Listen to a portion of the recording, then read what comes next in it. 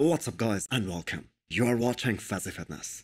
What a great crowd at one of the biggest classic physique shows of the year, the Wave Pro 2023. The classic physique prejudging just concluded and it was a big first call out with guys like Terrence Ruffin, Wesley Vissers, Branch Chen, Jose Maria. These four guys were already expected to be in the first call out along with Madelman. But Madelman did not make the first call out here. So Fabio Junio was a real-time freak in this lineup. He was really the surprise of the show. He is without a doubt the most muscular guy in the first call-out. Plus his conditioning was so insane that the judges had to put him next to Terrence Ruffin and Wesley Vissers was moved out. So it really is a fight between Terrence Ruffin and Fabio Junio They were in the middle the entire time. And I have to say the judges really have to make a tough call here. Well, they pick an overall classic looking guy, Terrence Ruffin of course, who isn't missing anything. He is very well conditioned top to bottom. The videos that we are seeing so far, they do not do the justice the conditioning these guys have brought. Terrence probably has the smallest waist in this entire call out.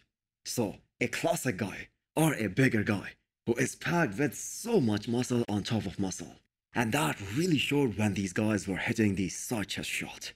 Notice Terrence and Fabio in that specific pose. It was so insane. The level of density that Fabio had, that it literally looks like these guys are in different class.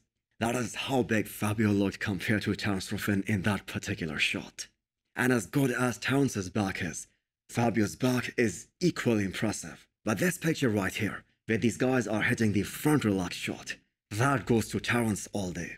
Now, I know a lot of the people have Fabio winning this show, but here is the thing. This is classic physique we are talking about, and you cannot let go of your stomach in between transitions or anytime you are up on that stage.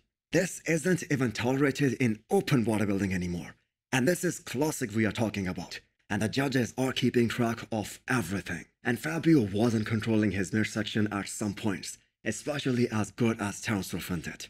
So who do you guys think is winning here? Who is gonna take this title and the Olympia qualification? Now, in my humble opinion, I think Terrence Ruffin is gonna take it. And let me tell you guys why.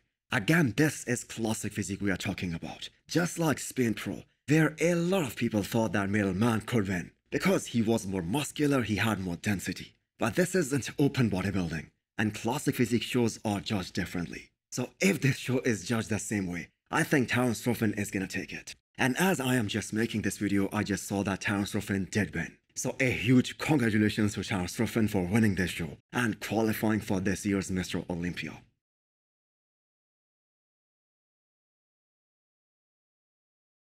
Branch Chen really looked amazing here. It's such a shame that a guy with one of the best aesthetics in classic physique division, he loses so much ground in one shot, the back double bicep. He is quote unquote the most classic guy out there. So if he wants to do well, especially at the Olympia level, of course I think he's gonna qualify. He needs to bring up his back, especially his upper back. Wesley Vissers was big, he was tall, he was round and bubbly.